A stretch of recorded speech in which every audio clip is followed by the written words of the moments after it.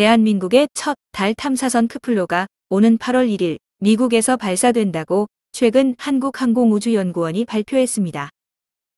고성능 카메라 같은 과학 탑재체를 실은 달 궤도선으로 내년 1월부터 1년간 달 주위를 돌며 다양한 과학 탐사 임무를 수행할 계획인데요. 특히 세계적으로 엄청난 인기를 모았으며 현재도 뜨거운 열풍을 이어가고 있는 BTS의 노래 다이너마이트를 달에서 지구로 보내는 우주 인터넷 시험도 진행한다고 밝혀 전 세계 방탄소년단 팬들이 열광하고 있습니다.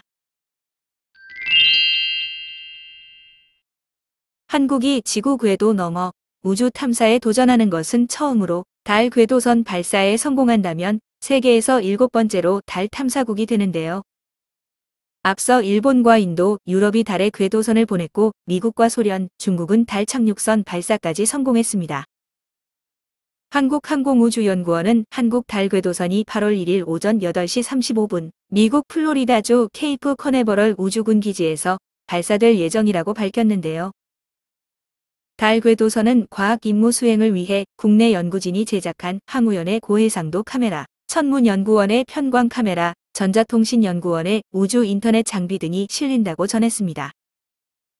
특히 전자통신연구원은 달에서도 위성이나 탐사용 로봇을 연결해 인터넷을 할 수 있는지를 시험하고 노래와 사진을 달 궤도선에 담아 보낸 뒤 파일을 보내올 예정입니다.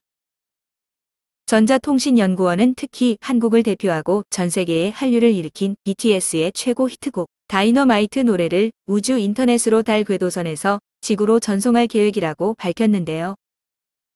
BTS 팬들은 너무 의미가 큰 일이다. 와. 방탄이 이제 달까지 점령하다니라며 흥분을 감추지 못하고 있습니다. 지금까지 카툰 메신저였습니다.